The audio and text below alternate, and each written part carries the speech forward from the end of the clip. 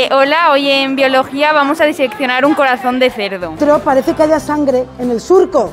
Ahí va una vena coronaria. Las arterias coronarias parten de la arteria aorta, que está por encima de esta, de esta aurícula, y eh, las otras llegan a las venas cavas.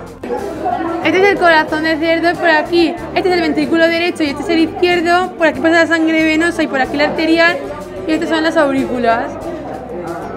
Este orificio de aquí es la arteria aorta, entonces vamos a poner un palito en dirección de cómo va la sangre.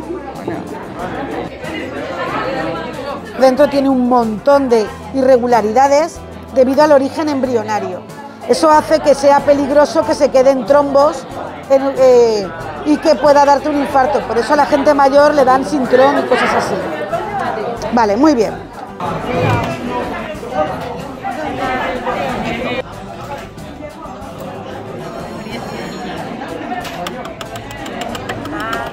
No, sé, lo rojo más intenso.